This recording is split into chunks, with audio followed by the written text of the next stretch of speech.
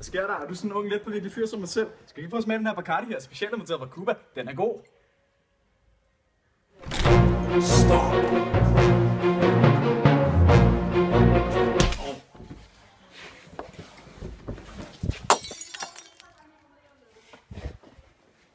Du behøver ikke drikke for at have det sjovt.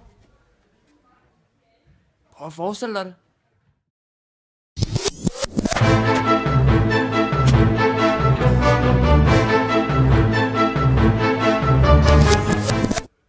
Yeah.